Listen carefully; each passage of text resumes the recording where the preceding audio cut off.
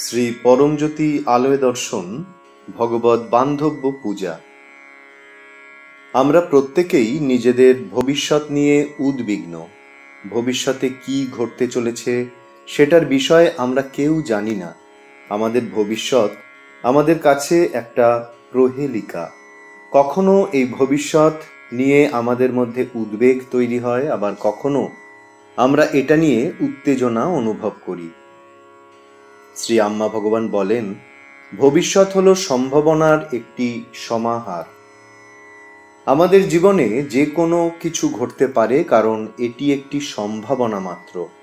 উজ্জ্বল ভবিষ্যৎ লাভ করতে অবশ্যই একজন ব্যক্তির প্রোগ্রামগুলিকে সাকারাত্মক হতে হবে।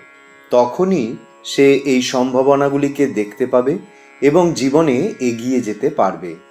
এই পূজায় শ্রী পরমজ্যোতি আমাদের প্রোগ্রামগুলিকে ঠিক করার মাধ্যমে উজ্জ্বল ভবিষ্যৎ প্রাপ্তির জন্য আমাদের দৈবিক আশীর্বাদ প্রদান করবেন।